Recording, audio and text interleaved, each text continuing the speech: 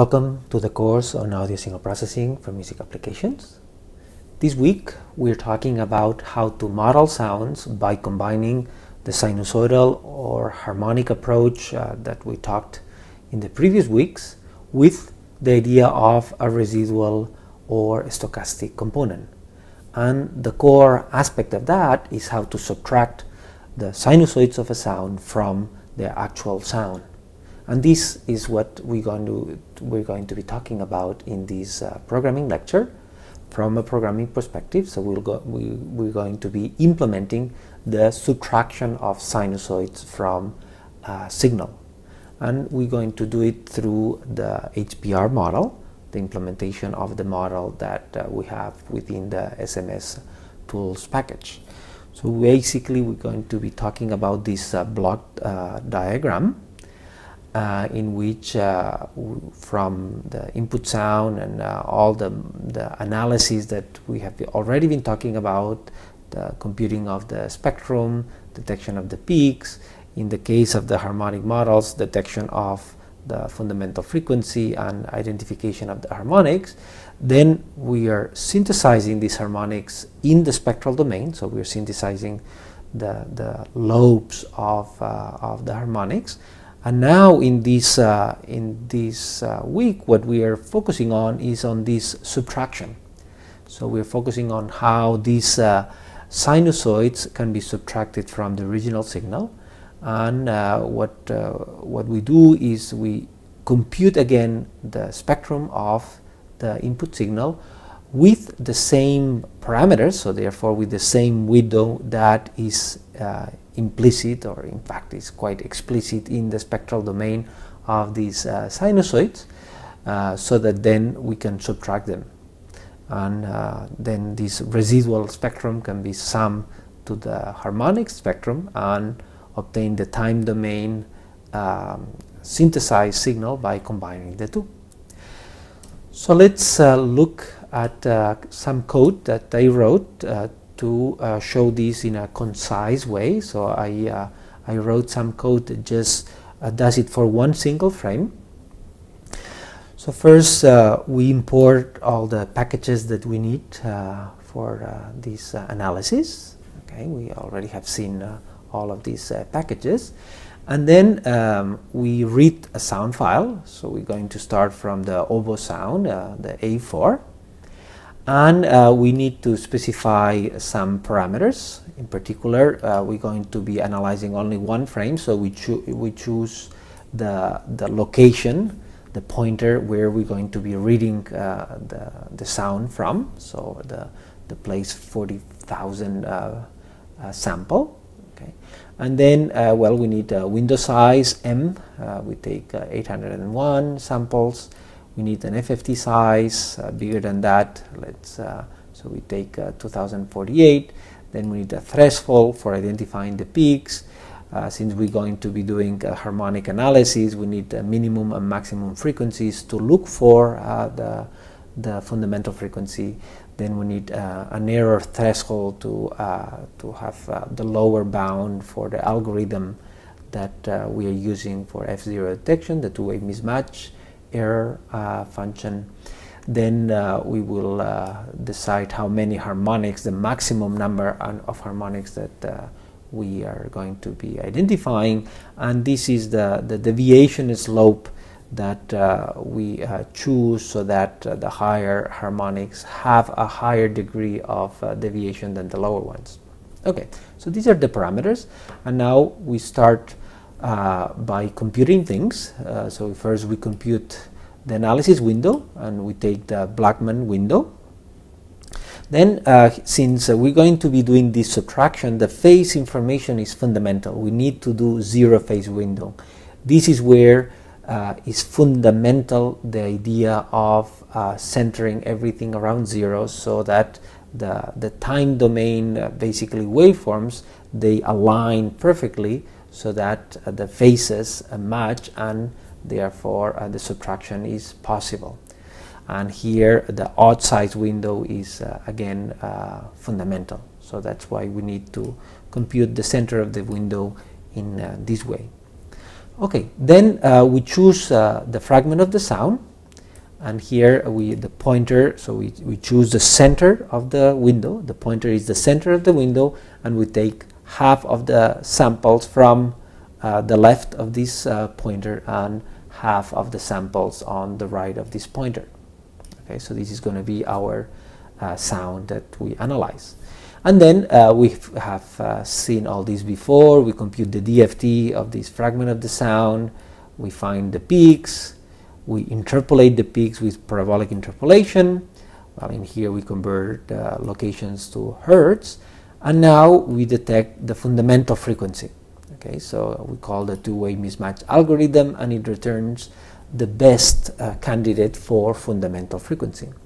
And we identify all the harmonics by calling the harmonic uh, detection function that looks for the peaks that are closest to the multiples of the fundamental frequency.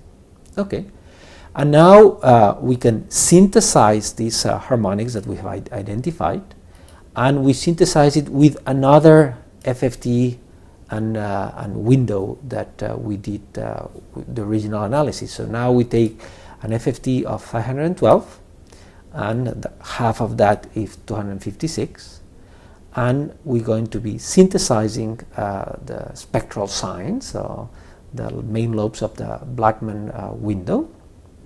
Okay, and this is the YH is the complete spectrum of uh, the, this harmonic component. And now this is what we are basically focusing on this week. We have to subtract these harmonics from the original signal.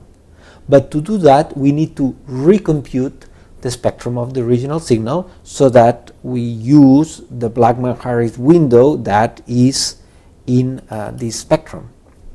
Okay, so we have to compute a window, a Blackman-Harris window of the size of the same uh, uh, size that we are now using for uh, the synthesis, 512. And then we're going to choose again from the original signal uh, the fragment of the sound, but only the 512 samples around the pointer. So here we, uh, we choose another uh, original signal with uh, these, uh, these 512 samples and multiplied by the Blackman-Harris window normalized so that then uh, it becomes easier to compute um, the, to do the subtraction. Okay, and so this is our new input signal and then we have to zero uh, zero phase uh, window it so we have to put it around zero and we do that by defining the FFT buffer we're going to use and center everything around uh, zero and then we can compute uh, the spectrum of that. And the, the subtraction of the sinusoids then becomes uh, easy. It's just a complex subtraction. We subtract the harmonics, the harmonic spectrum from this new uh, spectrum that we just compute. So okay, so let's uh, run this and let's step uh, through uh, the different variables that we have been generating. So this is uh, the file called test uh, 3 okay so this uh, has computed it. And now let's keep looking at the different variables. So for example let's plot the x1 uh, sound. Okay this is the fragment of the sound we are analyzing. Okay then we can plot the resulting spectrum that uh, we computed from that so we can plot mx okay so this is uh, in dB the magnitude spectrum of that. Then it has computed out of that uh, peak, so we can even just print uh, the, the, the locations of the peak. So EP log is the peaks, are the peaks that it has found within the array of, uh, of the FFT. It's better to show it in, uh, in Hertz. So if we uh, print IP frequency is the frequency of the peaks it has found. Okay, then this has gone to uh, the, um, the F0 detection. So it has identified the fundamental frequency, and the fundamental frequency uh, has been chosen to be 443 hertz, which makes sense. We're analyzing an oboe sound, uh, an A4.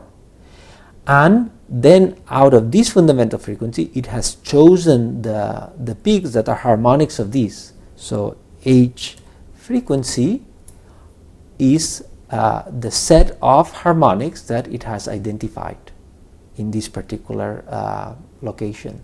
So it has identified all these harmonics. The other peaks have not been considered harmonics. Of course, we have uh, chosen a, a, threshold and a, a given a set of parameters that um, has limited the number of harmonics to these uh, 6,000. So it becomes easier. So we just have analyzed up until uh, this, uh, uh, this harmonic. Okay, then we generate these harmonics as a spectrum and uh, so it has generated YH. So if we plot the absolute value of uh, YH, we're going to see the, the, the magnitude of the complete spectrum. But let's uh, plot it just the, in, uh, in dB, so we will just plot in 20 uh, times log 10 of the absolute value of uh, YH and let's just take only let's say the first uh, 70 samples. So from the beginning to the sample 70 so we focus on the first harmonics which are the ones that basically we have generated. Okay so these are the harmonics that we basically we have synthesized. This is the synthesized spectrum. On top of that we can plot the, the signal that from the original sound that we have recomputed, so x2, the x2 uh, spectrum. Okay, so if we plot on top of that the absolute value of x2, in here we now see the green line which is basically the original spectrum and as you can see, is very much similar. So that means that we very much have synthesized the, the original spectrum. And then we can uh, plot the subtracted spectrum. So the subtracted is uh, the XR spectrum, and this is uh, this uh, red line. Okay, so the red line is the subtraction of the two, and it uh, it clearly shows the residual that it has. Okay, so um, this works and basically we do that at every frame and then of course we can uh, do the inverse to generate uh, all these signals back. Now let me show you the actual code that uh, is in the SMS tools package that performs this harmonic plus residual modeling. So there is this file called hprmodel.py uh, within the models uh, directory and in it uh, there is uh, the analysis and synthesis of uh, HPR modeling. There is one function that uh, does uh, the analysis, another one that uh, performs the synthesis, and then there is another one that does both the analysis and synthesis at one frame at a time. In fact, we recommend very much to do the analysis and synthesis separate so that we can take advantage of cleaning the trajectories and uh, having some memory in the tracking so that the, the, the harmonics are better. And um, in the analysis uh, part of the function, it basically calls two functions, one uh, that we already have seen. It does the harmonic analysis in the same way that uh, uh, we saw it when we talk about the harmonic model. And then the new thing that it does is the subtraction.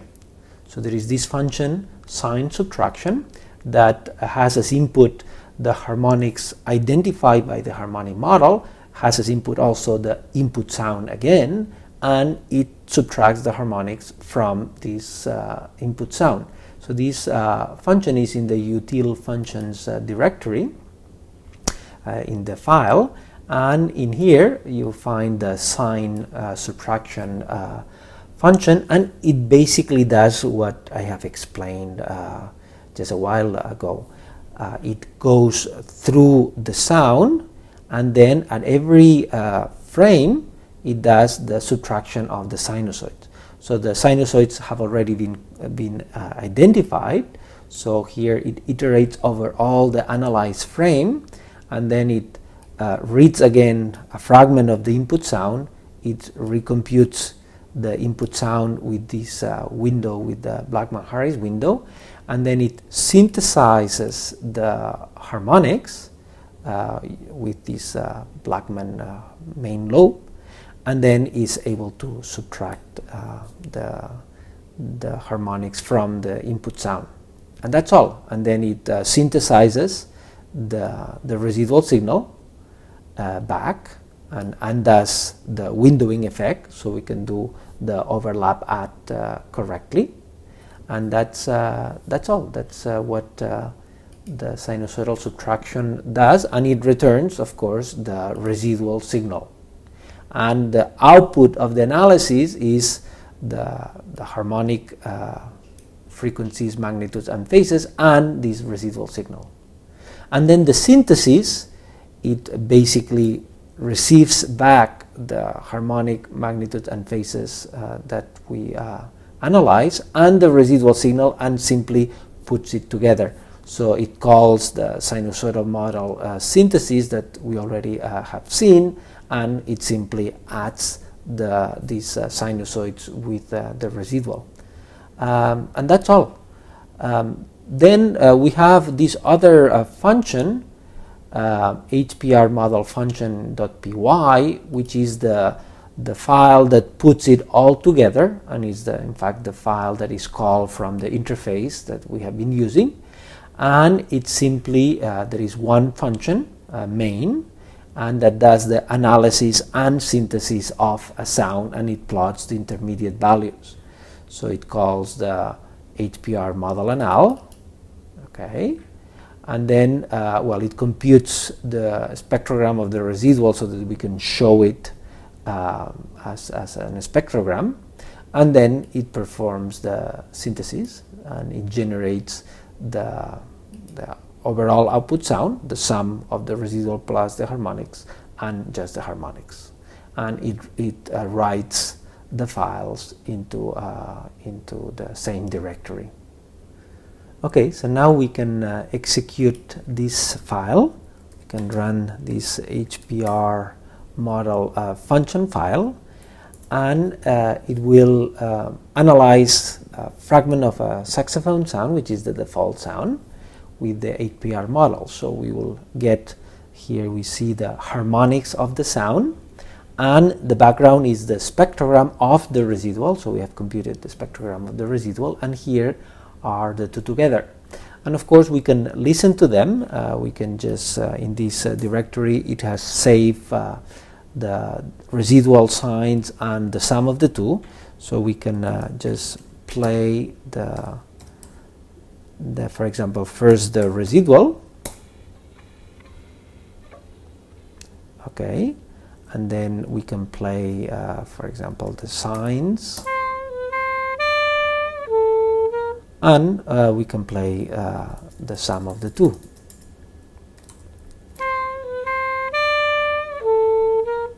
Okay, and uh, that's that's all. Basically, uh, we have gone through the the harmonics plus residual model, and we have used uh, quite a bit of code from the SMS tools and uh, from Python to be able to subtract the harmonics from the residual. And hopefully that has given you programming perspective uh, to this idea of harmonic plus residual uh, subtraction. And it's not a very sophisticated thing from a signal processing point of view, but from a programming point of view, it's quite delicate. We have to be very careful in how to uh, put the signals and how to analyze them in order that they align perfectly and in order that the, the complex subtraction in the spectral domain uh, is, uh, is done correctly and we obtain a real residual.